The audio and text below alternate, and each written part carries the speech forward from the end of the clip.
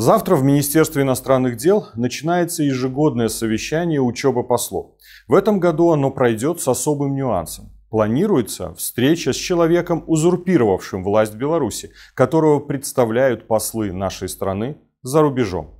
Как правило, совещания посвящены вопросам внутриэкономической ситуации в стране, а главное, каким образом следует развивать внешнеэкономические связи, инвестиционное сотрудничество.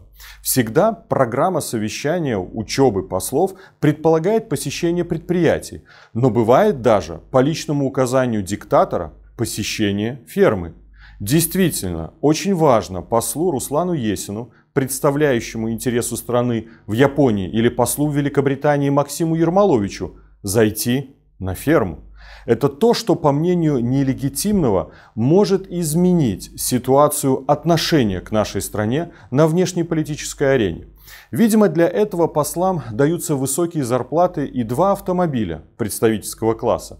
Ни в коем случае не надо воспринимать эти слова как неуважение к труду тех людей, которые реально трудятся на селе. Сегодня же вопрос стоит более глобально. Действительно ли эти люди, которые будут сидеть перед узурпатором, будут честны перед своей совестью? Действительно ли они считают возможным и правильным научиться стрелять из оружия? Это будет один из уроков в ходе учебы послов, не так ли? Раз узурпатор видит необходимость обучить стрельбе всех, даже на уровне председателей райсполкомов, то что будет следующим этапом? Научить стрелять послов. Кстати, насколько мне известно, в ряде посольств есть огнестрельное оружие. Что будет следующим? Обучение чрезвычайного и полномочного посла стрельбе из автомата Калашникова по движущейся мишени?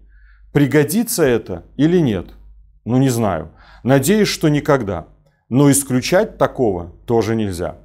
Завтра послы будут слушать о том, как великолепно развивается Родина, как процветает социальная сфера и экономика в стране, где одна из самых низких зарплат в Европе, как соблюдаются права человека в нашей стране, в которой 561 политический заключенный, где десятки тысяч людей прошли через задержание и аресты, где десятки, если не сотни тысяч политических мигрантов которых вынудили выехать за пределы Беларуси.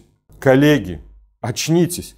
Сегодня вы представляете военную хунту, захватившую власть в нашей стране. Вы лучше других знаете о том, как фальсифицировались выборы, о публичной лжи нелегитимного, потому что знаете систему изнутри и в то же время видите, как все устроено в других странах.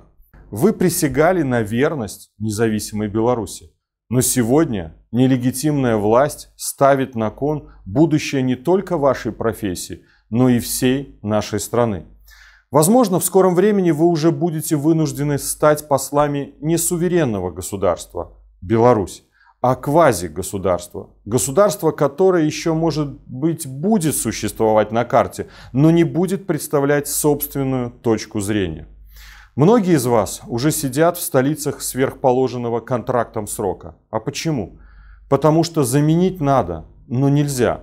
Нового посла от узурпатора не примут. Хорошо сидеть на должности посла и ничего не делать. Делегаций нет, соглашений нет, экономических форумов нет. А что есть? Полная изоляция в стране, в которой вы сейчас находитесь. А как вам объяснить то, что на улицах убивали, в тюрьмах убивают, независимую прессу уничтожают.